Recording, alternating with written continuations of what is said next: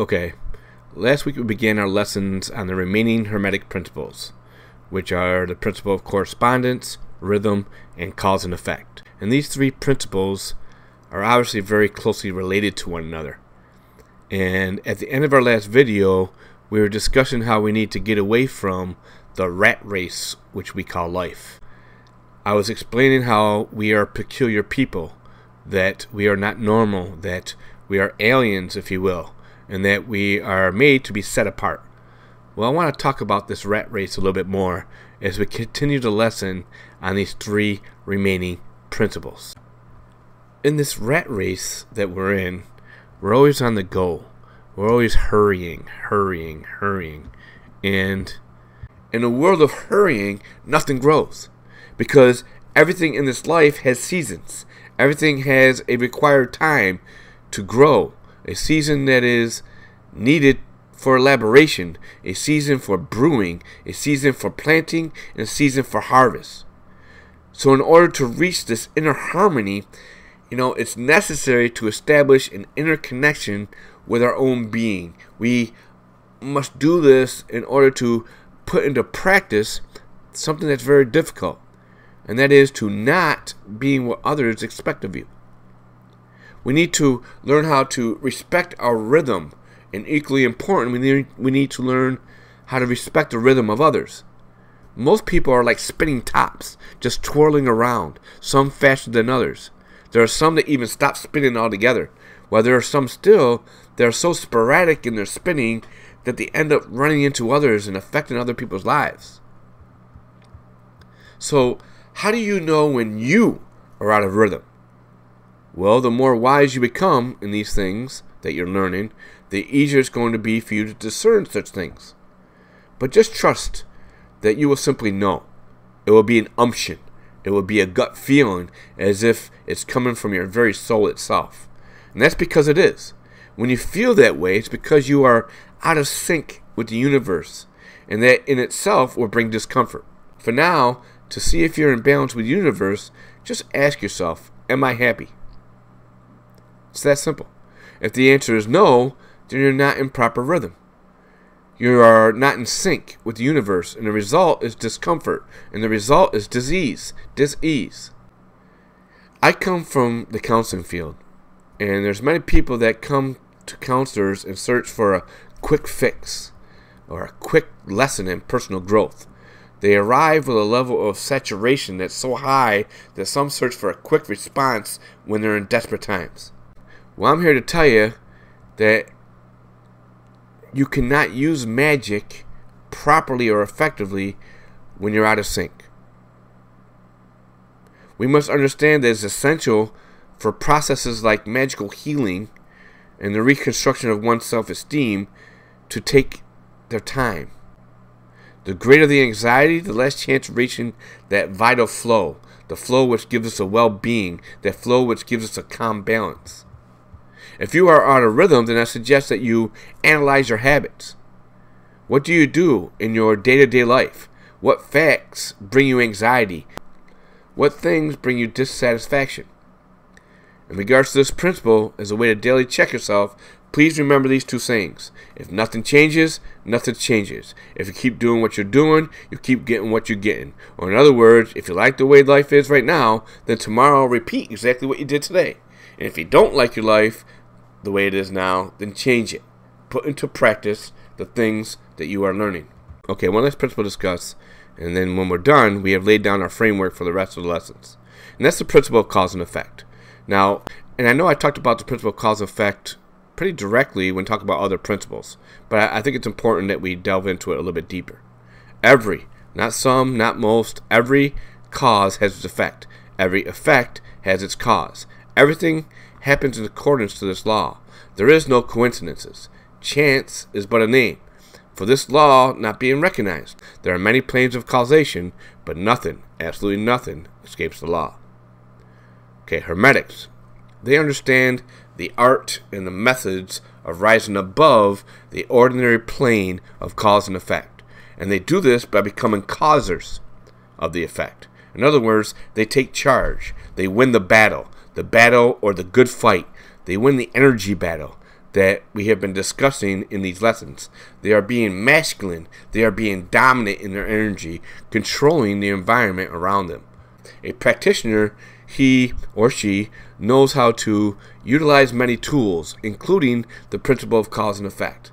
An advanced practitioner, if wise, can affect a large mass of people, and these masses they can be carried and used like pawns pawns on the chessboard of life, if you will. So, how do we become such a chess master? Well, we start simple. If you want me to listen to you, don't shout at me. If you want my respect, respect me. Because if you don't like the effect, you shouldn't provoke the cause. Part of maneuvering in this matrix is looking at these principles before they affect you. Start to look at the world in vibrations. Start to look at the world through depolarized lenses. Start to look at the world knowing that every action you take, not some, every action you take causes an effect. And being mindful and wise to cause the effects that you desire. Let's see. Well, if you want to know your past, look at your present. Because that is a result of your past. And if you want to know your future, pay attention to your present because the present will be the cause of your future. You see, life it is a continuous learning lesson. You should allow yourself to be a humble student, for it is through our humility that we become wise, and it is through humility that we retain true understanding, understanding that an action always, not sometimes, always produces an associated effect. Remember, as an example, that words have power power to wound, and power to heal. Remember that your thoughts, they generate emotions, and it's your emotions that you view the world. I mean, we all have basic knowledge about the relationship between certain causes and effects. The world of machines and engineering, for example, provides a great illustrative lesson on the subject. Although in reality, they're not very profound. They are simple they are not complicated. If I press the power button on my computer, it will turn on or off. If I fix the brakes on my car, it will save me from an accident. But we, us humans, we are much more complex. We are much more complicated. We don't have buttons. We don't have instruction manuals. In fact, sometimes, even when we interact in the same way with two different people, the effects are very different. People are complicated we as humans, we have a delicate set of emotions, a delicate set of likes and values. And these emotions, these values and likes, they create various reactions and responses to the same stimuli. In regards to this principle, when I deal with people, I keep it simple. I just remember that every action, every thought, and every intention is like a boomerang. Sooner or later, that behavior, that word that you haphazardly threw at somebody comes back at you. Why? Because a tree of life is like a battery terminal, the same terminal that we discussed in the law of gender. The tree of life has an energy flow to it, and what you put into that energy flow comes back to you. So we need to be mindful of the type of energy that we put out, for it can and will come back to us. Okay? Whenever you're suffering from today, whatever is taking hold of you in this complex present time is linked to a cause that you should look for in the past. Magic and hermetics makes us free. We are free and powerful creatures capable of choosing what to do, what to say, and what to think in every moment. And we know what we know and we utilize the laws of the universe to produce specific results. This is Magic 101. We first have to learn to have magical balance and to manifest what we want inside before we can manifest what we want on the outside because both have a cause and effect on the other. But trust me, it is much easier to change you than to change others, as I said earlier. Okay? Because we are the result of our thoughts. We are the result of our words. We are the result of our actions. They are the cause of our current life. We are not only what we do and say, we are first and foremost what we think. And here we go again. This is why I'm always stressing that you guard what you let into your mind, for it is in the mind that the battle takes place. This is why we reject and accept. And it's why this was accepting and rejecting your reality was the first action I asked you to complete. And I continue to ask you to complete it every single day for the rest of your life. It's essential. It's all about the mind. This is where the battle is. Change your mind, change your life. I'm going to say that again. Change your mind, change your life. If your thoughts are taken up by fear, or if you use words such as I can't or I don't deserve, well, then your path will be overtaken by swamps and barbed wire fences or obstacles that you must try to get past each and every single day. You are creating a life full of obstacles. I am.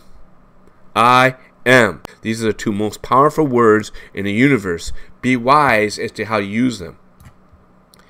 Yes, we need to pay attention to the cause in order to achieve a better effect. We could all live happier lives if we were a little more concerned with our attitudes, with watching our words, and with trying not to harm or bother ourselves and others. Yes, do what thou wilt is the whole of the law, but most forget the second part of that law, and that is love is the law. Love under will. In other words, do what thou wilt, but do it with love. Love and gratitude, which are the two highest forms of vibration that one can emit. Okay? That's it. Hooah. We are done with the framework. You have now learned the Hermetic principles. so now what? Well, now we start to talk about your craft.